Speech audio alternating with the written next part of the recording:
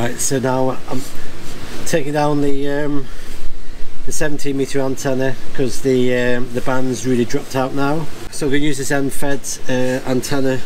Um, I've got a, an isolating bit there as well. I'm going to put that over the uh, top of the uh, top of the mast.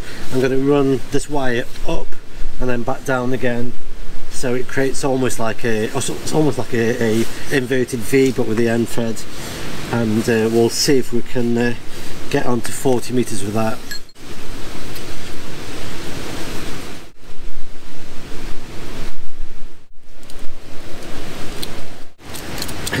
this wire goes on and on and on until it gets to the end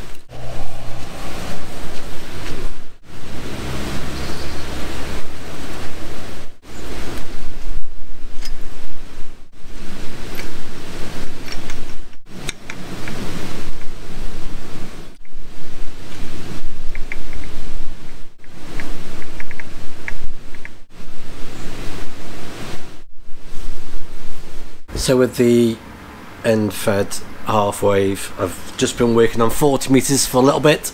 Um, done some FT8s. Um, got a bunch of contacts on FT8 actually. That was um, a nice little uh, bundle of contacts. Uh, nothing on voice yet anyway.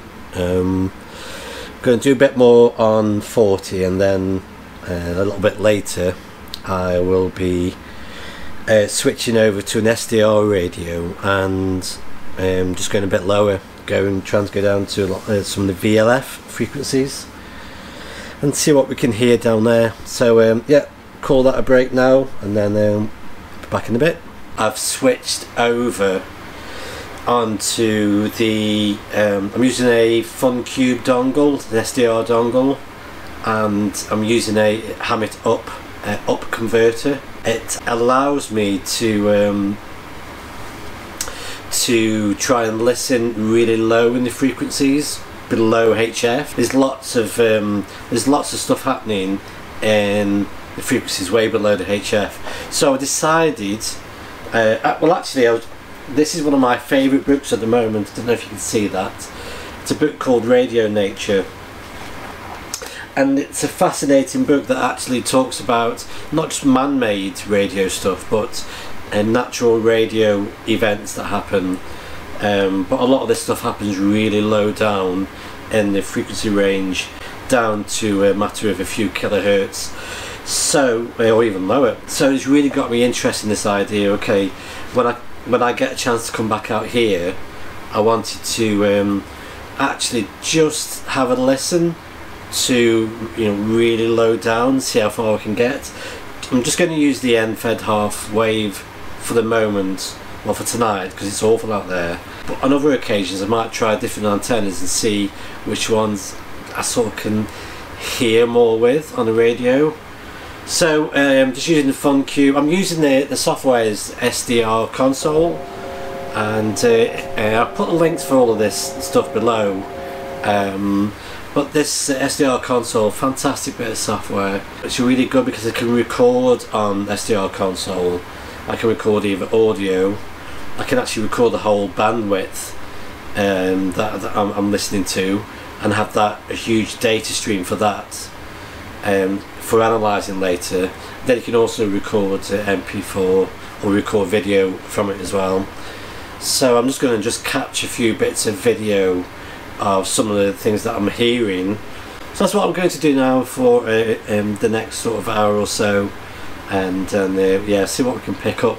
So what I'll do is I'll jump in and out of a recording that I'll get from SDR console and uh, yeah we'll, we'll see see what we can hear and see.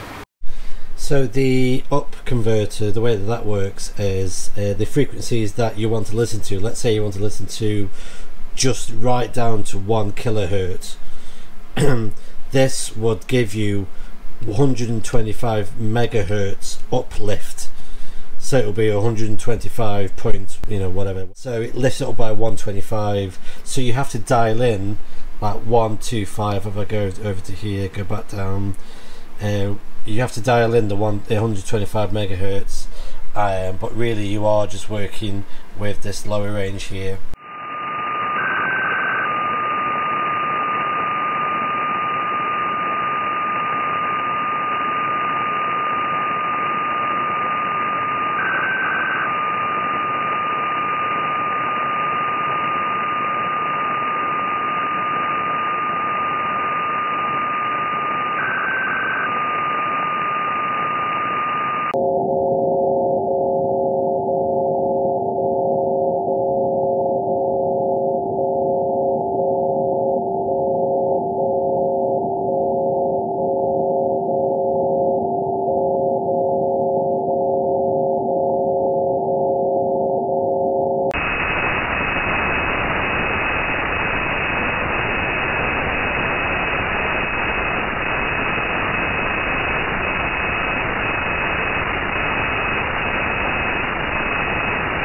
think radio is one of those hobbies that um, the mystery of how some of it works or, or what you're listening to, what you're hearing, is part of the attraction as well. So um, you get to understand a little, a little bit around the HF, what's going on, the different um, either man-made noises or natural noises, you know, different types of modes. You you, you get to be able to categorize and, and work out what, what they are.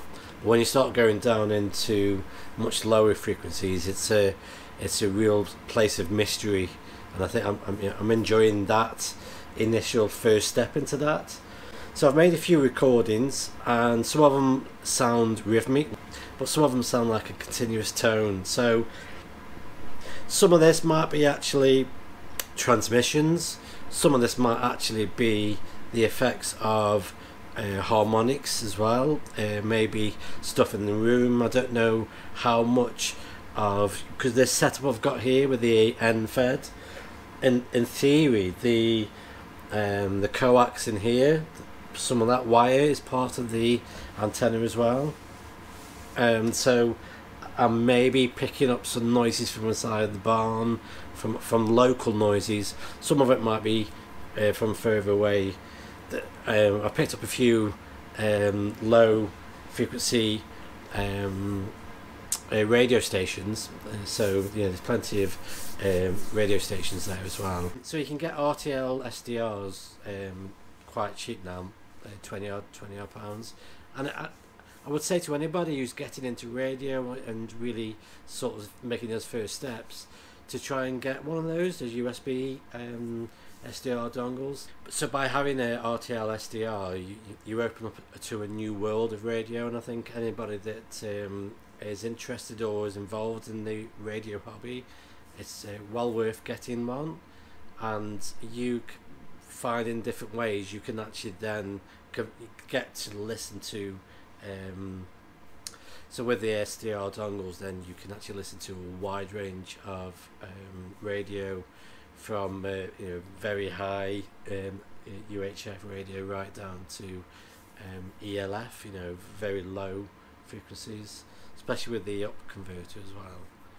So yeah, I'm going to just do a little bit more of this here. If I find any more signals, I'll record them, and then if I find out when I get back home what they are, I'll I'll add a bit more to the video or put a comment in below.